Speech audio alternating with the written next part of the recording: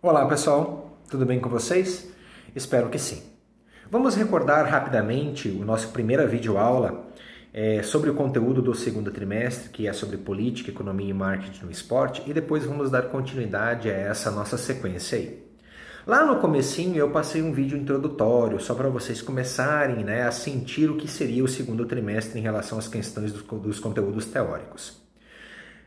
Para a primeira videoaula específica desse conteúdo, nós tivemos que voltar um pouquinho, né? conversar um pouquinho sobre a antiguidade clássica, conversar como surge, por exemplo, a ideia e como já no surgimento dessas ideias é, de movimentos esportivos globalizados, elas já começam a ter uma ligação, mesmo local, mas ter uma ligação política, econômica, ter uma ligação social para as pessoas.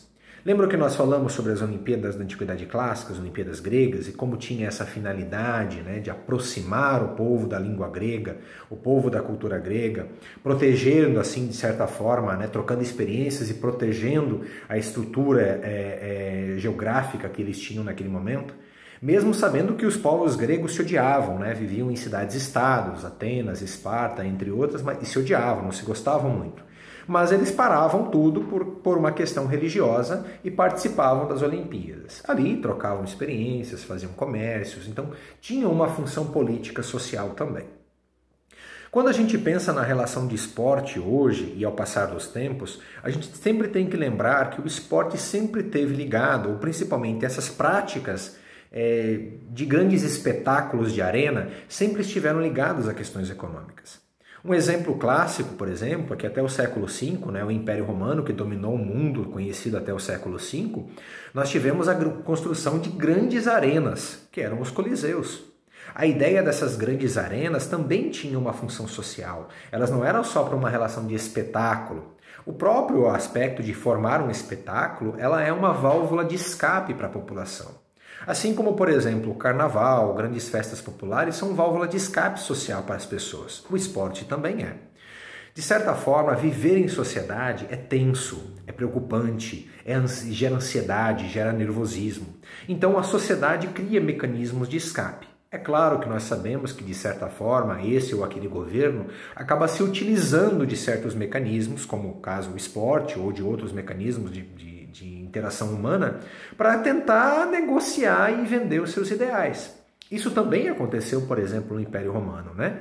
A utilização, por exemplo, dos grandes jogos de arena era uma forma, queira ou não, era uma forma de distrair a população sobre problemas básicos da sociedade romana da época, como, por exemplo, o saneamento básico, que não era algo bom, as questões relacionadas à alimentação, as questões territoriais.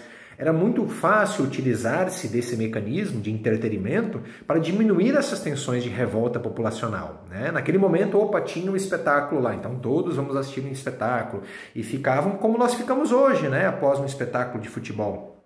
Ficávamos discutindo sobre essas relações, ficamos, ficavam semanas discutindo sobre quem tinha ganhado de quem, Claro que as relações, ou seja, os princípios de ideia esportiva eram uma coisa meio arcaica, né? Era muito ligada às questões da morte, dessas coisas mais viscerais humanas, né? A morte, a gladiação, animais que comiam pessoas, né? É, morte de cristãos, né? Que eram jogados na arena para serem é, servindo de alimentos para os leões.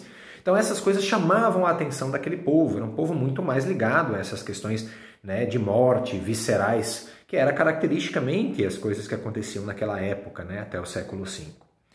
Uma das coisas que eu chamo a atenção de vocês é que nesse período, e é historicamente lembrável, vocês já devem ter estudado isso nos anos anteriores em história, criou-se uma política, então, a política chamada política do pão e circo. Gravem isso por gentileza, por gentileza. Até pesquisem se vocês quiserem. Política do pão e circo. A política do pão e circo denota justamente isso que eu estou falando para vocês. É um tipo de política que foi usada já naquele período com o objetivo de, aclamar, de acalmar, de apaziguar as situações sociais sofridas na época através da utilização de jogos de arena ou de grandes espetáculos de arena. Basicamente, no período do Império Romano aconteciam os jogos de gladiação, e isso era o circo, isso era a beleza, né, o que as pessoas iam assistir. E ao mesmo tempo, às vezes, o imperador, para mostrar justamente essa coisa do, de como ele amava o seu povo, esse populismo que existia na época também, ela, ele jogava pão e alimento para, para as pessoas que estavam ali assistindo. Então, aclamava duas situações fundamentais humanas, né? Que é esse desejo, essa vontade por questões viscerais, como a morte, por exemplo, como o espetáculo, é, e outra coisa fundamental para o ser humano, né? O alimento. Então, essa, essa ideia de política do pão e circo e essas arrecadações milionárias que acontecem na relação do esporte hoje, elas não são hoje, elas já são aspectos históricos, elas são contadas por uma relação de pensamento histórico social humano. A gente vai discutir elas hoje com um pouco mais de clareza, para entendê-las um pouco mais, né, com mais clareza. Bom, dito isso para vocês e entendendo essas relações sociais e econômicas que envolvem a questão estrutural do esporte, Todas as manifestações humanas atuais que estão ligadas à questão esportiva, elas têm um quê ou uma ligação com essa ideia política, a política do põe circo. Quando a gente pensa, por exemplo, imaginem agora, vamos fazer um trabalho mental, né, nós aqui. Imaginem na cabeça de vocês, que vocês provavelmente já viram, né? É, imagine é, pensando no que vocês viram pela televisão, ou se alguém já teve a oportunidade de ir até Roma né, e ver o Coliseu. Imagine na cabeça de vocês o que vocês já viram. Imagine o Coliseu. Pense no Coliseu, né? Um, uma coisa de arena, uma arena. No centro você tem lá um espaço onde as pessoas acontece a gladiação, aconteciam os, os rituais de gladiação, e as pessoas todas em volta assistindo.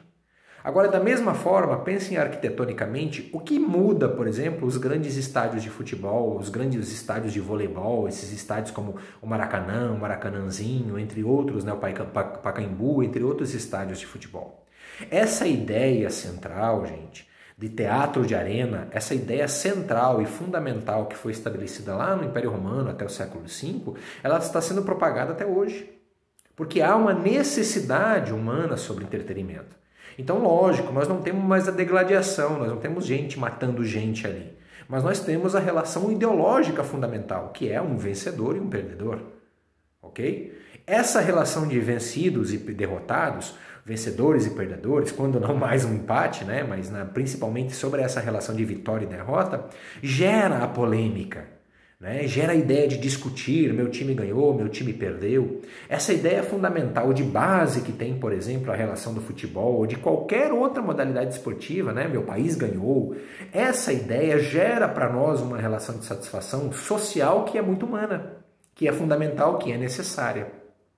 O que nós vamos discutir sobre a relação além dessa questão de necessidade, que é fundamental, que é belo, uma outra relação fundamental que acontece também que são governos ou que são sistemas políticos utilizando-se da prática esportiva, utilizando-se de mecanismos esportivos ou de outras manifestações coletivas do ser humano que fazem parte de um conjunto de ideais físicos desenvolvidos pela relação da aptidão física humana, como esses sistemas políticos ou esses grupos políticos se utilizam dessa prática para vender uma certa ideia social, uma certa ideia de conforto social, de vida social e de cultura. Tudo bem? Na próxima aula, então, nós entramos mais nessa questão. Eu vou me utilizar, sim, de eventos históricos das Olimpíadas, tá? Não é necessário, não é tão necessário que vocês gravem momentos específicos históricos, históricos que eu vou citar para vocês. Mas é importante que vocês é, tentem entender que do passar, no decorrer do processo histórico e dependendo da situação social histórica vivida na época, as coisas aconteciam de uma determinada forma. Coisa que muito tempo, tempo de, muito tempo depois a gente consegue entender e ver essa estrutura mais massificada de uma forma um pouco mais inteligível, né? uma forma um pouco mais compreensível para nós. Tá bom? Um abraço para todos, fiquem com Deus, cuidem-se.